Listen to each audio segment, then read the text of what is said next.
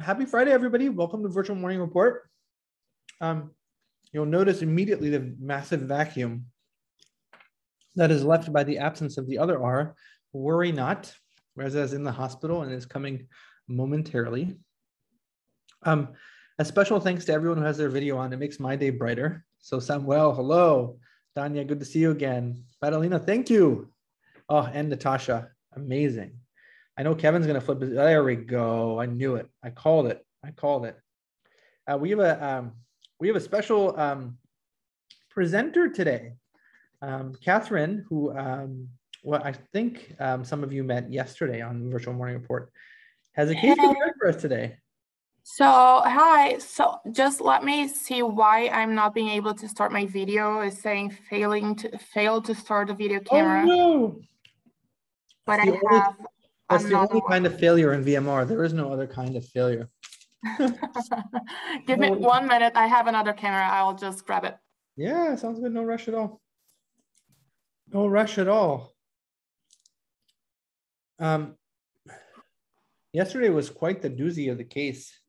Um, Kevin, can I pick on you for a sec? There's a lot of people here who weren't here yesterday. You want to tell them what, what journey you took us down yesterday? Yeah, we had a mid 30s, otherwise healthy female who really was only recently diagnosed with hypothyroidism and then had a remote history of viral myocarditis, if I remember. Um, mm-hmm. She presented with AMS and was febrile. Her labs were pretty wacky. She was hyperkalemic, hyponatremic. Um, and eventually, actually everything was pointing towards infection and parainfluenza came back positive but we checked a am cortisol and it was low which led us down the train that ultimately found to be in adrenal insufficiency and then we scanned her head with the mri and she had an empty sella that we think was likely from sheehan syndrome um, from her pregnancy four years ago. Crazy right? So it, was, it was a crazy case did all that in 30 minutes. And you know, right above you on my screen is, in my opinion, one of the world's experts in these conditions, Tiago, who is uh, who you um who will decline that but like every expert. Tiago, hello. Hi, Robbie. Hi, everyone. It's great to see you, my friend. Kevin really took us for a tailspin yesterday, and I think um, one thing that stood out to me um, with that case is the presence of hyperkalemia and the, in the presence of secondary adrenal insufficiency. That was it had ultimately probably had um, another explanation, but um, but that was really really um, really quite a spin. Can you share with us how you how you think about Sheehan syndrome? Like, what does that mean to you as an endocrinologist? Sure. So uh, for the hyperkalemia, it doesn't make sense for me as well. I don't know the reason. So it's something I'll need to study because yes, just expected if you have primary adrenal insufficiency and then the ACTH would be high. Um, but if the ACTH was normal or low, then it's secondary uh, adrenal insufficiency. And then you expect aldosterone to be normal and then the potassium to be normal. So I don't know. Uh, please uh, let me know if anyone has the answer for a hyperkalemia in a secondary adrenal insufficiency. I'm very curious about it. If I may, real quick, I I don't I can pull it up, but we checked aldosterone and it was actually low. Oh, and the ACTH was was normal was or low? low? Low. Oh, so it's it's I don't know how to explain the aldosterone being low in this scenario. Um, can she have? I don't know. I'm just thinking both primary and secondary adrenal insufficiency it's possible it's possible. And you know if why? Because she has she had primary hypothyroidism and the most common cause for primary adrenal insufficiency is autoimmune disorder. So i don't know i have to study but uh, both primary and secondary adrenal insufficiency is very unlikely but possible. Uh, and it's interesting to know that aldosterone is low so what's going on? Uh, the, the adrenal image was normal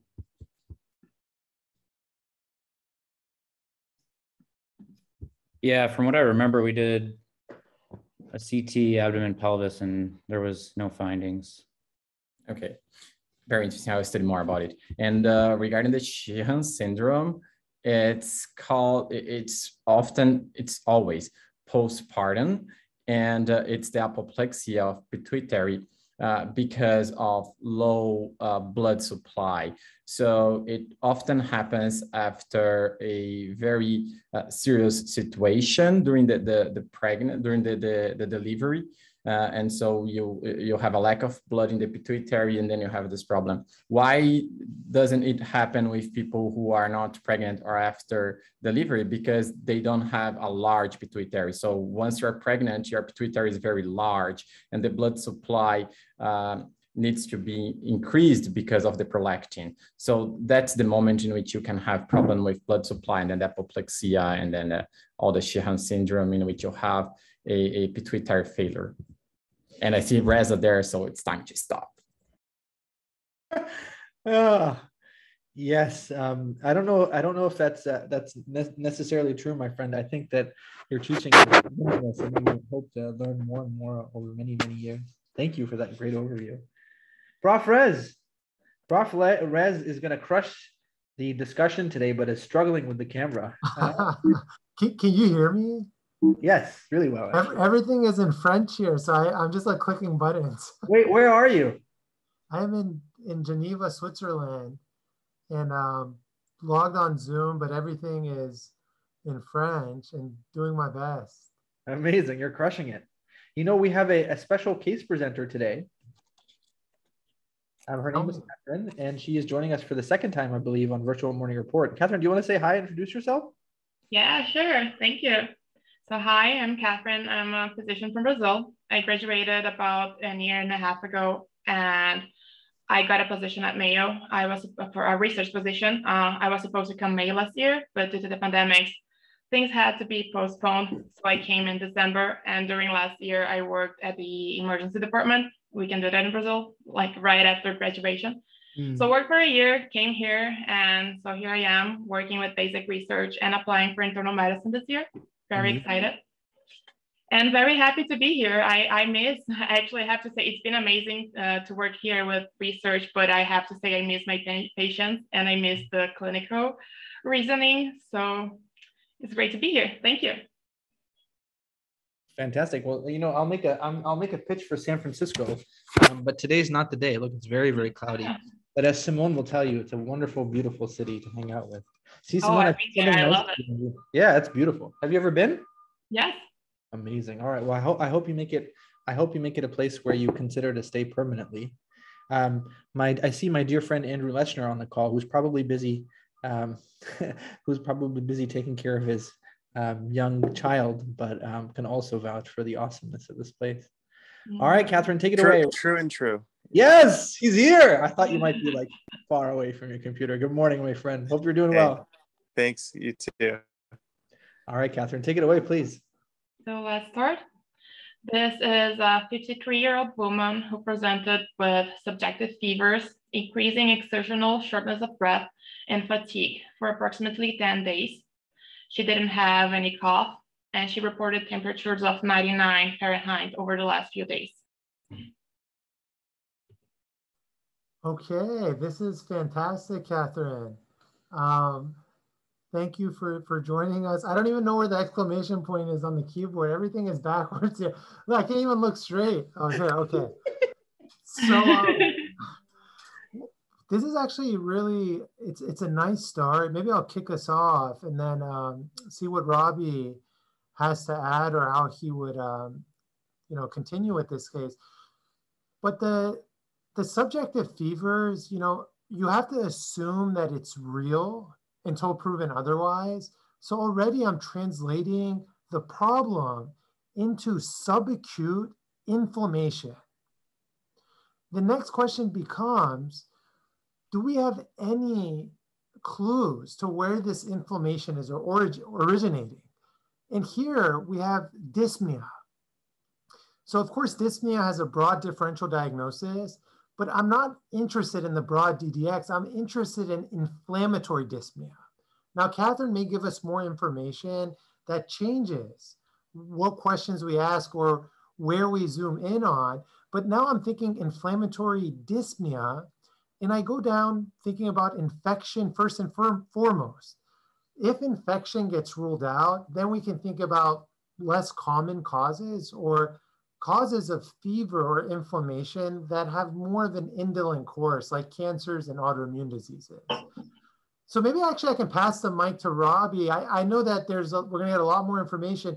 Robbie, when you think of inflammatory dyspnea, how do you think about that in terms of the DDX? I love it. You know, I think my instinct now these days is to make sure that I'm not being fooled because I think um, it's tempting to say that dyspnea is a complaint that people refer to in their thorax. And the first thing is to be like, whoa, whoa, whoa, you, your, your dyspnea may be extra thoracic. So how could you have no problems in your heart and lungs and have uh, inflammation? You could have a sinister process somewhere else and have metabolic acidosis. So you have inflammation from your leg or from your belly, and your dyspnea is actually metabolic acidosis. The other distractor is, of course, uh, inflammatory anemia, and the other distractor is fever with hyperthyroidism, none of which have to do with the actual chest as well. But then, you know, like after being making sure you're not fooled and you're not led astray, you've got to be practical. And practical is here, play this game with me. If you name all the cardiac causes of inflammation, endocarditis, myocarditis, pericarditis, and if you want to get real fancy, coronary vasculitis, um, all those in sum total multiplied by 100 don't even come close to the incidence of pneumonitis or pneumonia. So when there is inflammation and it's in the chest, it's much more likely to be in the lungs. And um, only on VMR do we entertain endocarditis, myocarditis, pericarditis. And again, if you want to get really, really, really fancy, coronary vasculitis um, early on. The truth is, this is a pneumonia until proven otherwise, atypical or, or a community acquired. And then uh, if we prove otherwise, it's only because it's a rare case in virtual morning report. In real life, this is a pretty good case for it. All right, Catherine, back to you. Okay, so let's go to her past medical history because it's very important. She had B cell ALL diagnosed eight, 11 months prior to this presentation, which was treated with four cycles of a hyper-CVAD. Um, then she received a matched related donor BMT. Uh, four months prior to this presentation, her course was complicated by AKI due, due to rituximab toxicity, but then she recovered renal function after they suspended the drug and she had a persistent pancytopenia after her BMT. Her meds include acyclovir, penicillin VK, Levaquin, flusaconazole, pentamidine, all, all of that for antimicrobial prophylaxis, and also tacrolimus for GVHD prophylaxis.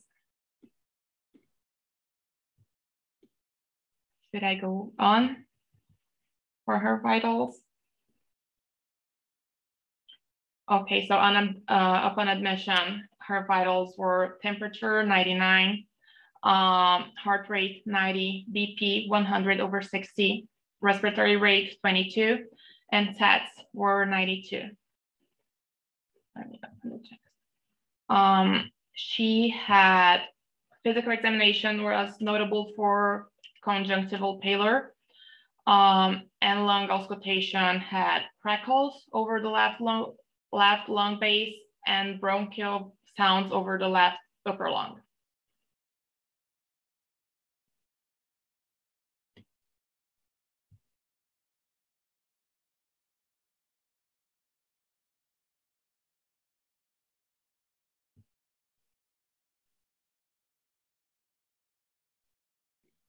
Awesome. Oh, sorry, go ahead.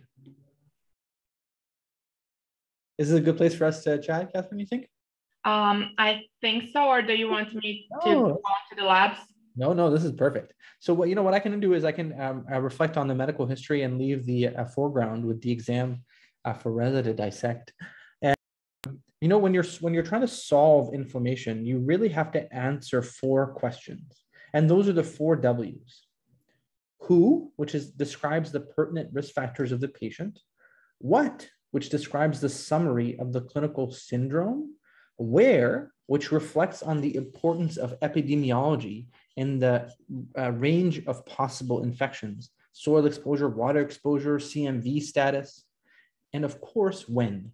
The time course of the syndrome is crucial to solving it. So the four W's are who, what, when, where, who, what, when, and where.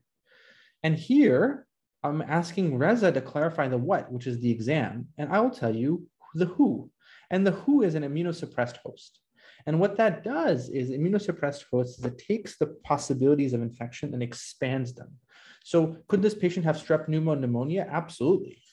Is the patient more or less likely to have strep pneumo pneumonia now that she's in immunosuppressed? The answer is more likely, not less. What happens in immunosuppressed hosts is the range of common illnesses becomes more severe and infections that don't affect immunocompromised hosts come into play. So that's a really, really important point. So the spotlight doesn't move away from the things we always entertain. In fact, it strengthens on those, but also gets bigger. But this isn't just any old immunosuppressed host. This is a patient who's re received a bone marrow transplant. And there are complications that result uniquely from bone marrow transplant that affect the lungs beyond infection. And that's importantly graft versus host disease, which she is, um, uh, which she, she is getting prophylaxis against.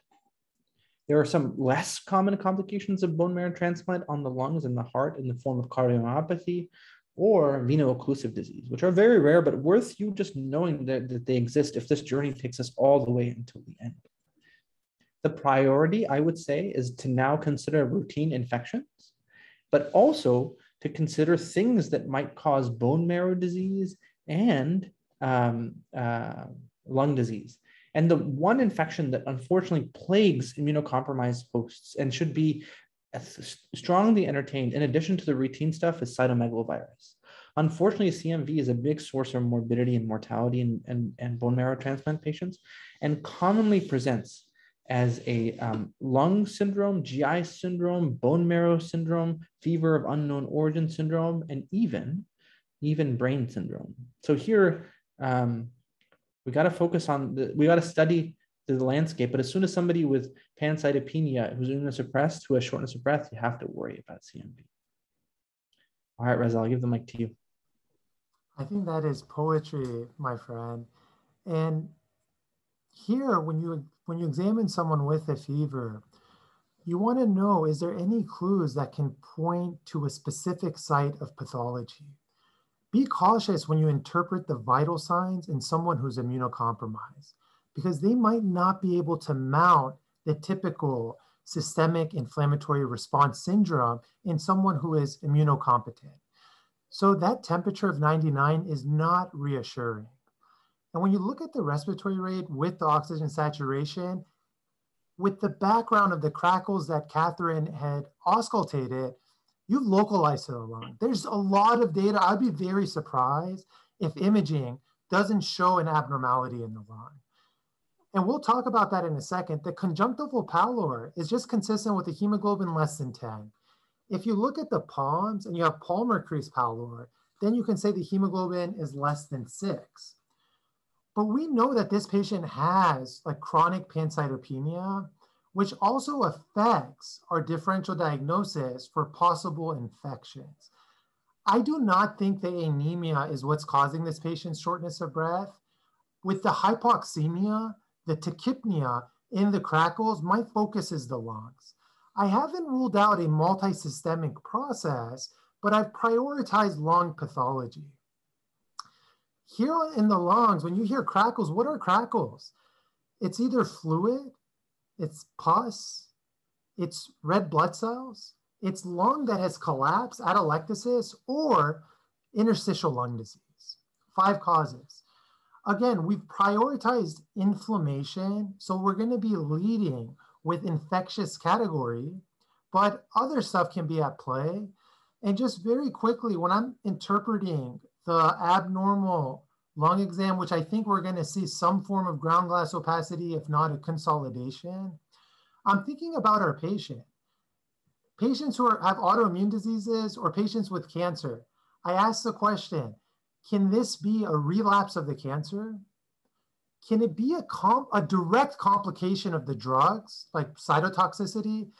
Can it be because the patient's immunosuppressed and now has an opportunistic infection? And in this specific case, you have to entertain graft versus host disease, like Robbie said, which can involve the lung, the GI tract, and the skin. So what are the next steps? Well, of course, we want to know, does this disease involve any other organ? So we're going to want liver chemistry test, the renal function test, renal panel, the CBC, and I would get imaging. Um, and you can start with the chest x-ray, though I feel like a CT scan will give us much better um, view of the parenchyma and might be might allow us to actually prioritize amongst some of the causes we've discussed, whether infectious or graft versus host. So that's that's what I would do next. Um, I'd pass the mic back to my dear friend and colleague, Catherine. You see, y'all, you see why he's won so many awards. Look at that. Look at all those awards behind him, paintings, and I don't know if those are actually. Um... The trick to having a lot of awards behind you is go to someone else's office, and then all of a sudden things like light up. Okay, so let's go to the labs. Um, she had a hemoglobin of 6.8, leukocytes of 1.2 with 0.82 neutrophils, platelets of 32,000, sodium was 136, K 4.5, MAG was 1.8, BUN 25, AST 44, ALT 41, uh, creatinine 1.2, her tacrolimus level was 3.2, uh, which was low. We expected to be between 5 and 15. Uh, of course, she has a, she had a very uh, comprehensive infectious workup done with uh, blood sent for fungal and, fungal and bacterial culture, uh, aspergillus antigen, sputum was sent for gram stain, fungal smear, fungal and bacterial culture, urine was sent for Legionella and strep antigens, and she had a chest CT, which showed a new consolidation in the left lower lung with a patchy consolidation in the left upper lung. If you want to comment on that. Absolutely. Can you, um, Catherine, just repeat some of the, the studies she had sent, like what's pending and, and maybe what has returned? I don't think we caught all of it. On the infectious workup? Th that's right, the infectious workup. Okay, so blood culture, fungal and bacterial, aspergillus antigen. Sputum also, was also sent for gram stain, fungal smear, fungal and bacterial culture. Urine was sent for Legionella and strep antigens. Uh, and that was it for now. And these are all pending. We don't know what the results are just yet at this point. Is that correct? At this point, we don't. We don't. Okay, fantastic. So actually, since I, I did a, quite a bit of speaking the previous one, I'm just going to pass the mic to, to Robbie to marry the labs with the imaging, because I think that's the way you discuss this aliquot. No, I know. I think I'm just latch on to what you said about the alveolar infiltrates, and they could be blood, pus, water, cells, so on and so forth. And in an immunosuppressed host, you have to prioritize pus. But while we while we're going to focus on that in a minute, I think the other possibility not to miss is the possibility of blood. And that blood would be that the patient is so thrombocytopenic that she's intermittently bleeding into her lungs. But that, of course, is a diagnosis of exclusion.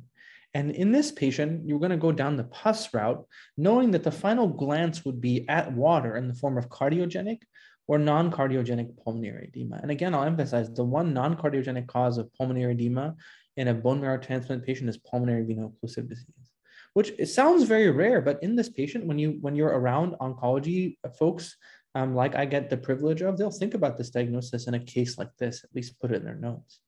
Um, but the focus is on pus.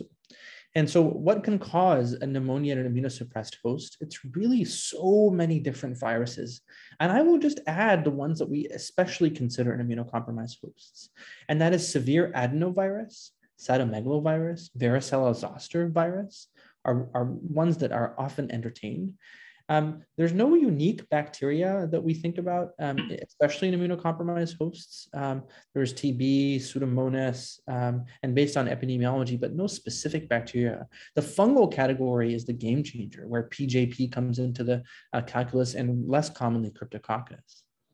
Uh, all the endemic mycoses are considerations based on epidemiology, but the molds are always a consideration. And Aspergillus is a big, big, big player, and this has his mucor. Um, and then there's some parasitic infections to consider, and specifically uh, the possibility of reactivation of strongyloides, which causes uh, a diffuse alveolar hemorrhage type picture in these in these patients. So what, how is it, if you keep it simple, you're like, I, I know my causes of pneumonia really well in, an, in a well patient. What do I need to add in an immunocompromised patient? And just have a quick short list in front of you without it being organized. It's really adenovirus, CMV, VZV, PJP, molds, and strongy. Um, and those would be those would be the ones that I'd be thinking about. And some of them are captured by the tests that uh, Catherine outlined, but some of them are not. Um, and so that's the pulmonary picture. And I'll, I'll pass the mic to Reza to see if any thoughts to add on to that, or if there's any clues from the CBC or any other labs. No, I, I think that's beautiful, very systematic and organized. And I would be interested in what her CBC was prior to this presentation to see if there's like a delta. Um, but of course, this patient is immunocompromised. And I think the best way to get an answer is to get sputum and send it for the various studies. Maybe you might require to be required to do a BAL to get like a closer look in the alveoli to see what infection might be at play. But at the same time, sending the blood CMV. Uh, so if that comes back positive, then the next step is to make sure that that CMV is actually causing uh, tissue pathology. So you can end up with that diagnosis.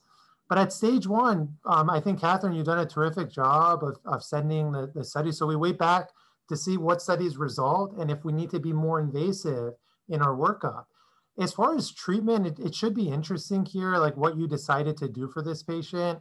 They are immunocompromised. As Robbie said, they're at risk of typical infections. And then the spotlight just broadens to include atypical infections if the patient was like in extremis or you know uh, appeared quite ill, then you have to entertain empirically starting some some medications for PJP for CMV. But at this moment, the patient at least appears quite stable, and you have time to try to get to an answer. So I, I would be interested to know, Catherine, did you guys start treatment for typical pneumonia as you work this patient up for more of the atypical causes? Yeah, so she was started on cefepime two grams and azithromycin for three days and admitted to the hospital, of course. Uh, and also right after admission, she had a bone marrow biopsy to check for, for recurrence. Um, and she had a normal cellular bone marrow with morphological, mor morphologically normal three lineage hematopoiesis. Uh, and she also had a bronchoscopy with bronchoalveolar, bronchoalveolar lavage and uh, that was sent for a fungal culture, gram stain, acid fast smear, Legionella culture, uh, fungal smear, mycobacterial culture, aspergillus, nocardia, uh, influenza, RSV, PCR, histoplasma, blastomyces, pneumocystis, viral culture, and cell count and differential.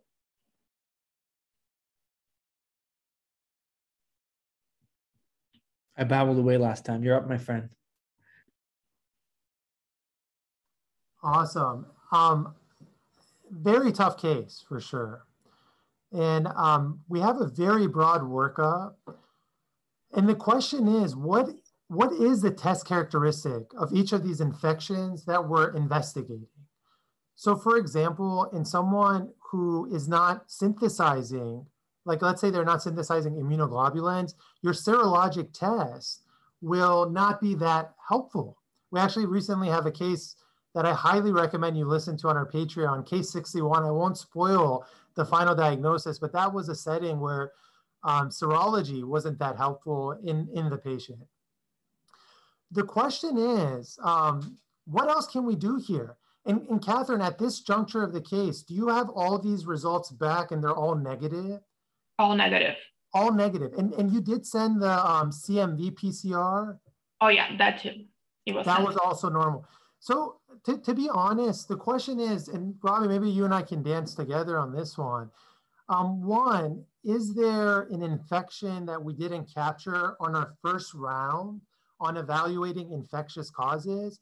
Or are we dealing with a non-infectious process? specifically graft versus host disease. The issue when I when I even say those terms, how many patients of, with graft versus host disease have I taken care of? A zero, a zero. So it's not an area that I feel super comfortable with. It's an area where I know enough to ask the question. Then I would look up on up to date. I imagine you would rule out all infectious etiologies. I imagine the CT scan would give you specific findings that may prioritize it. I imagine maybe the BAL might give you some clues to, to the diagnosis. But Roy, maybe I could pass the mic back to you and see uh, where you are and how you would proceed in workup. Yeah, you know, I think that at the end of the day, when you get closer and closer to um, being more comfortable that an infection isn't at play, you have to move towards a tissue, basically. And you know, what's really interesting is um, when you're trying to when you're trying to pursue infections, your gold standard is tissue as well. But in the world of autoimmunity and in the world of cancer, you often often require tissue. So there's some um, autoimmune diseases that are very good serological diagnoses. But just yesterday, we had a patient in the emergency room who needed a biopsy for giant cell arteritis. Not one, one or two months ago, we needed to biopsy somebody for the possibility of glomerulonephritis. For inflammatory myositis, we needed a biopsy. So in cases where you're not lucky enough to pick up an infection through non-invasive means, and not lucky enough to pick up a simple autoimmune disease, which can be picked up with an ANA, RF, uh, SSA, SSB, you often need tissue. And so here the question is, can you get an answer without tissue? And I'm not seeing any, you know, this is a very broad infectious workup, so it needs combing through thoroughly. For example, could this be adenovirus and have we missed that?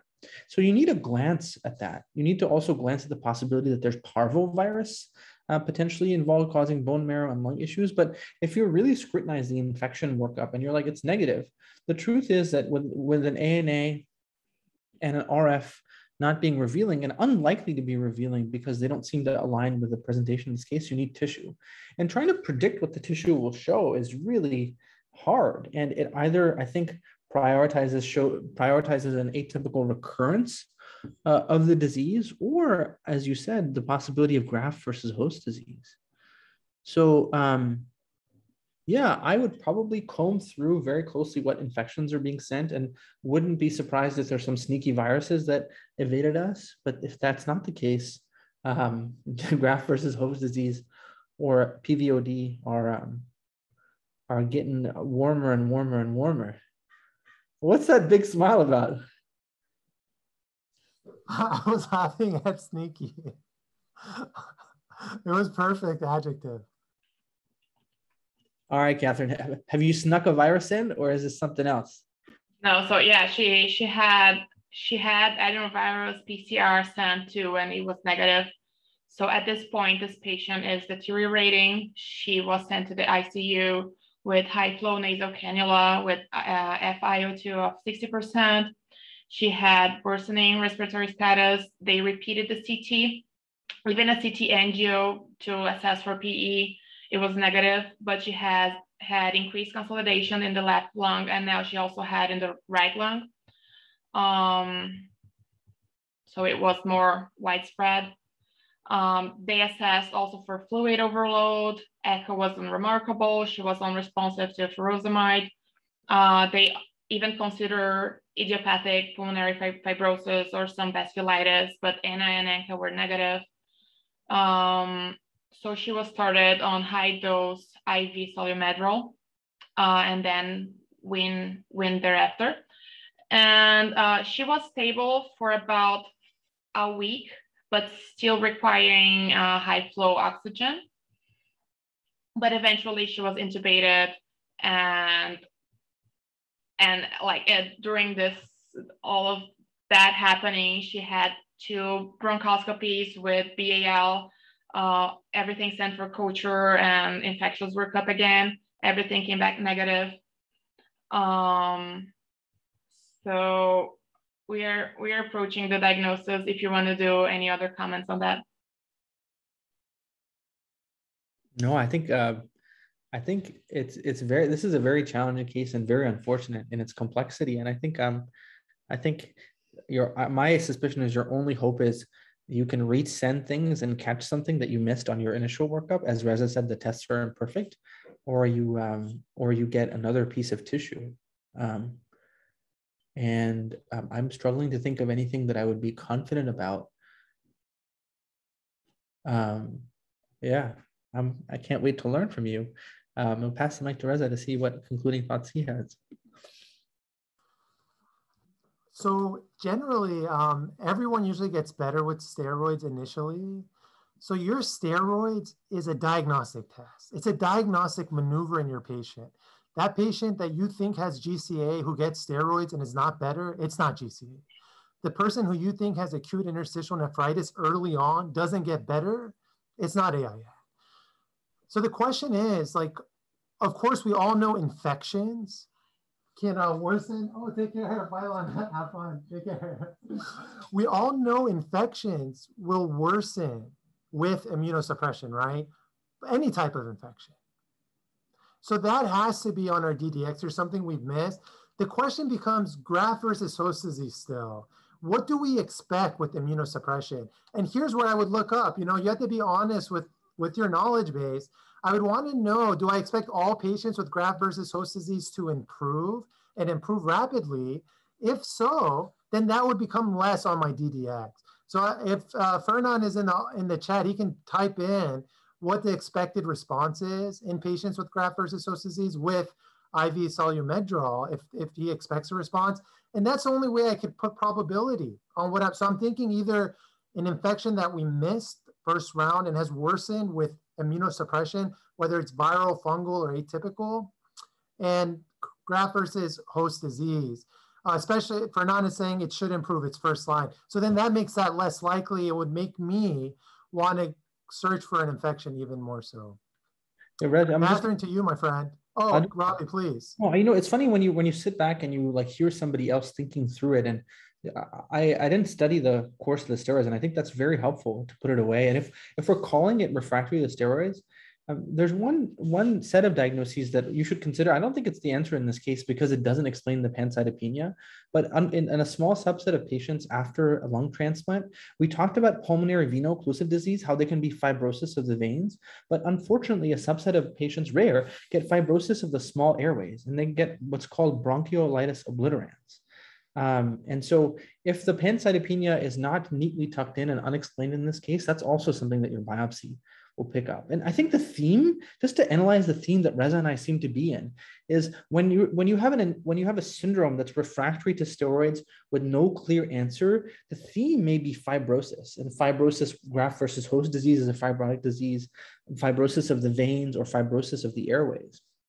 But it's I don't know. I'm saying that as pure pure speculation on the fly, but I think that's that's the conversation I think we're having. Robbie, that is so beautiful because recently I had a patient with AIN, and when I spoke with my friend, he said AIN initially will improve, but if you wait to treat AIN, you get fibrosis, and then it's refractory, and only biopsy will show that fibrosis. That it, so it's sort of end stage disease. Brilliant point.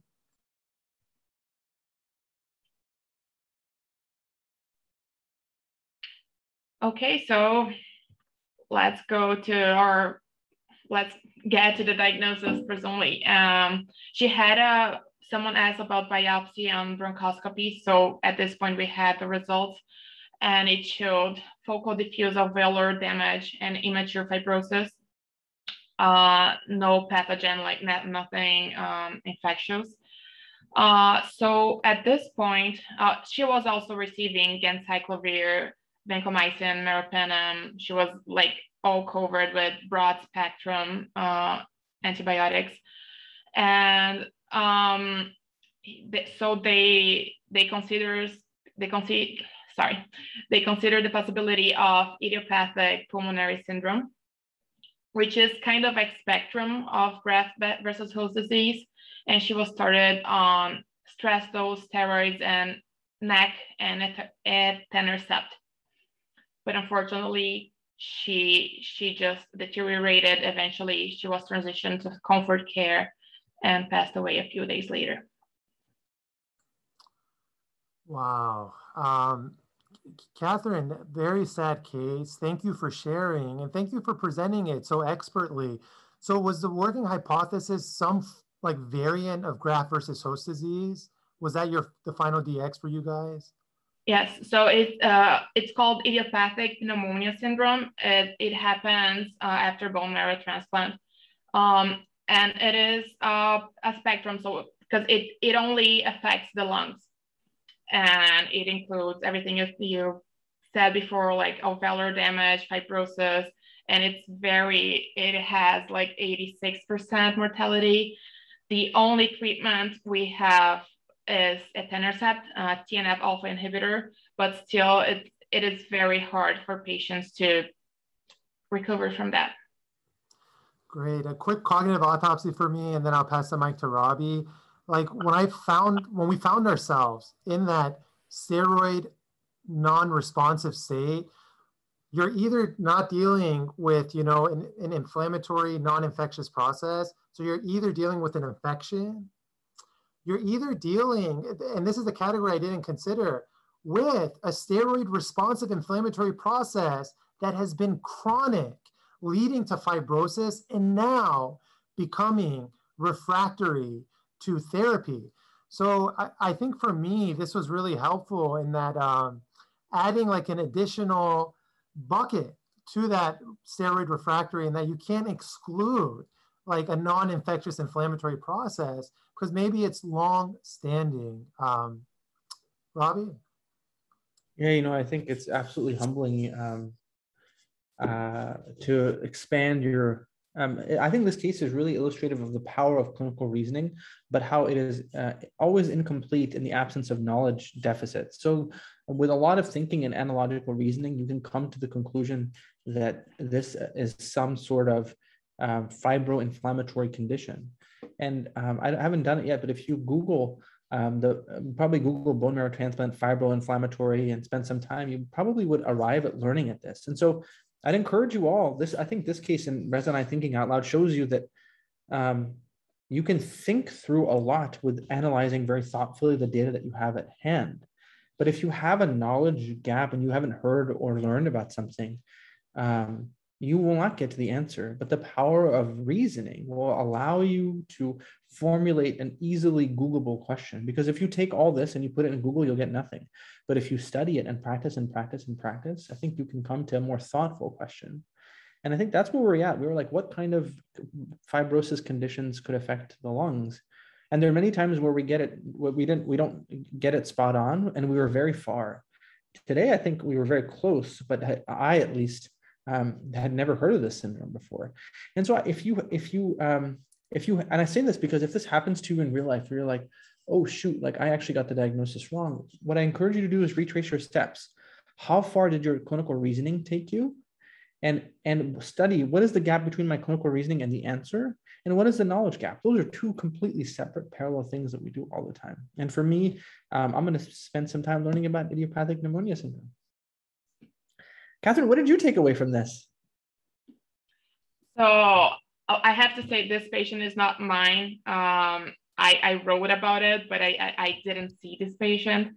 Um, but I also didn't know about this diagnosis before. And actually it's not that uncommon. Apparently I put it on the chat. It, it, it happens between 4 to 12% of each uh, CT patient recipients. So it is a diagnosis that like if you have a patient post bone marrow transplant with uh, signs and symptoms of pneumonia and you're getting a negative workup, you have to put it on your differential because it's uh, it's a very bad diagnosis. And maybe if um, you start the treatment sooner, maybe the TNF alpha inhibitor sooner, maybe the patient can have a better prognosis. But yeah,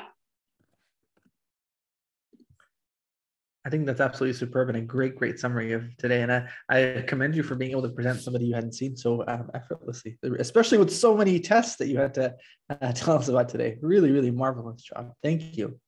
All right, Kiara, take us home. Uh, thank you so much, Karen, for this amazing case. I enjoyed and learned a lot. Um, so we start with a female who with a past medical history of ALL who received a bone marrow transplant. So with that, we have our WHO, which is an immunosuppressed patient.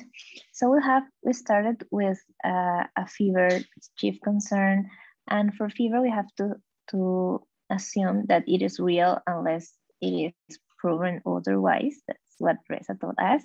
So fever can be translated into subacute inflammation in this case. And first we have to rule out infection. And if after we rule out infection, we then have to think about cancer or some autoimmune diseases. Uh, however, sometimes when we have an immunocompromised patient, vital signs may not be helpful because they won't translate maybe that, that there is a severe disease because, for example, they, won't, they won't present with fever maybe. Then we have that this patient presented with dys dyspnea. And with dyspnea, with dyspnea, we can think like in a, an organized approach, maybe this can be a thoracic uh, disease or extrathoracic disease. And with dyspnea, dyspnea, we have to think first about pneumonia first, then, uh, and then we can think about cardiac inflammation or infection causes because pneumonia is a very much, a very more common, a very more common cause. Then um, Ravi told us that when we have inflammation, we have to think about the four W's. First, we, we have to think about who is this patient, and with that, we have to consider the risk factors. In this case, in this case, this was a immunocompromised patient. So when we have an immunocompromised patient, it, this can lead to more infections or even more severe infections. Then our second W is what? And with what we have to answer with the clinical syndrome. Then the where is the epidemiology, so some risk factors or, or epidemiology to concern some other like facts. And when, so we have to consider that time course. In this case, this was like a subacute uh, time course. Then when we have an immunocompromised patient, and if this is a cancer patient, like in this case, we have to consider maybe this is a relapse or maybe this is a drug toxicity because this patient is receiving many drugs for the, that cancer and for the bone marrow transplant. Or maybe this is an opportunistic infection like cytomegalovirus. And we also have to consider graft versus host, like uh, in this case, because this patient received a transplant and graft versus host can be present in many, many organs and systems. Then we had that this patient has had crackles in her, in her lungs. So we can prioritize that this patient, so in crackles, we have to prioritize pus, like thinking about infections, but, and of course, because this is an immunocompromised patient. So some possible etiologies for a, an immunocompromised patient with crackles we have to think about virus like adenovirus, parvovirus, cytomegalovirus, varicella zoster, then some um, bacteria, in, this case TB, but there are non-specific bacteria that can we can think about. Many bacteria can cause this. Also Pseudomonas, Pneumocystis, some endemic mycosis, Aspergillus, uh, moles are very common in immunocompromised patients, Mucor and Strongylo. And then we have more information, a lot of information, but some many confusing, confusing because we had many negatives. But when we have a severe immunocompromised patient, we and they and this patient has serologic test negative, maybe we we cannot rule out infections or we can maybe these tests are not 100% specific because many immunocompromised patients have serologic test negative because they cannot produce immunoglobulins. So uh, if we, how we can rule out infections, we can have PCR testing and we must take tissue samples. And after that, we can think about graft versus host disease. Uh, finally, an amazing pearl that I will take forever is that one, steroids can be used as a diagnostic tool for inflammation. However, if we are not treating an inflammation and this is a real infection, steroids can worsen the, the course of the disease. But there's one exception that of the rule that when we have a chronic inflammatory process uh, and we and that doesn't respond to steroids is that because this this process have become refractory and this is what happened with this patient. Thank you so much, Catherine. I learned so, so, so much and I will read also about this disease. Sure, thank you. Terrific job.